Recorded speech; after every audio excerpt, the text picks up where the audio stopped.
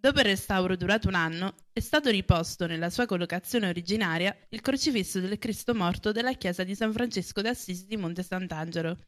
Ai DMTV Fra Giampaolo, responsabile della parrocchia francescana. Intanto diciamo questo che un anno fa, perché il, restauro è durato un anno, quando sono salito a fare le pulizie,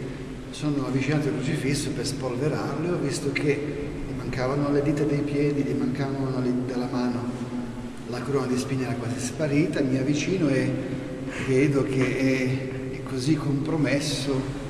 che era diventato urgente ormai, mi ero accorto che era urgente restaurarlo, era diventato spugnoso come il pane secco, se lo toccavi si sbriciolava. E poi ho guardato le spalle per vedere un attimo com'era e ho visto una spaccatura che partiva dalla nuca e finiva al fondo schiena di due centimetri, quindi è una cosa che mi ha spaventato, quindi abbiamo deciso subito di intervenire, senza soldi, ma dovevamo comunque salvarlo perché non era più il caso.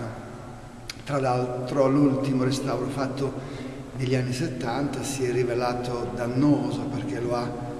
per certi aspetti gravemente compromesso nel senso che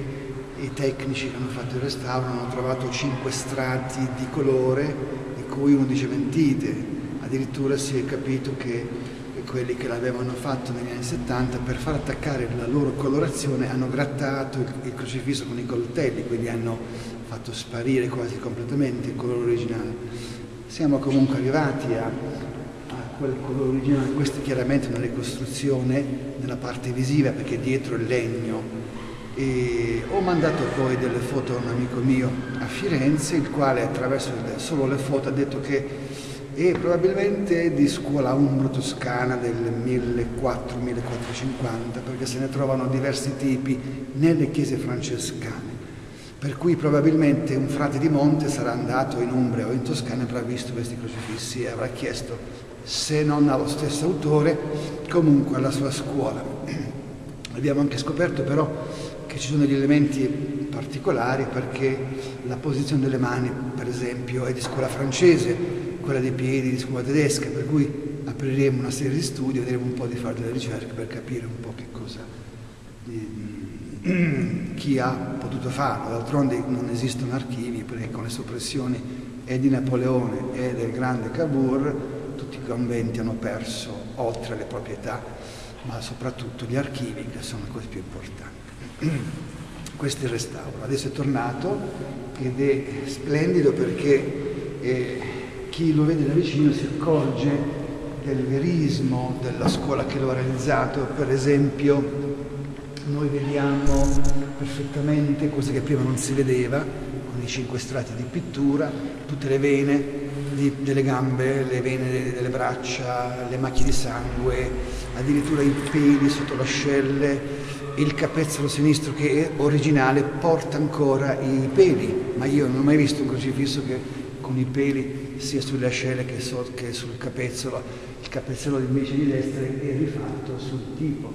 erano scomparse le costole, non si vedevano più, sembrava un, tutto un pezzo, adesso sono venute fuori, ma soprattutto è venuto fuori il viso che è di una grazia stupenda in quanto si è scoperto per esempio che ha gli occhi aperti, per cui non è ancora morto, ma sta quasi morendo e sembra non voler, come dire, abbandonare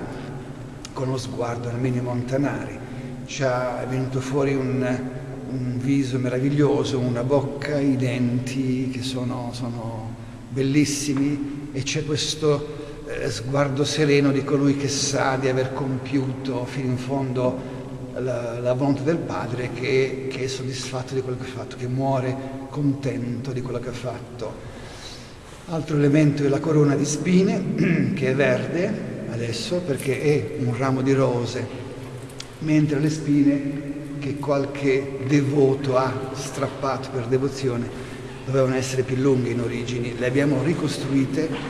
ma la sovrintendenza non ci ha permesso di farle lunghe così come devono essere, le ha fatte di un paio di centimetri per far vedere dove erano, anche perché non si può fare un falso storico ridipingendo il tutto,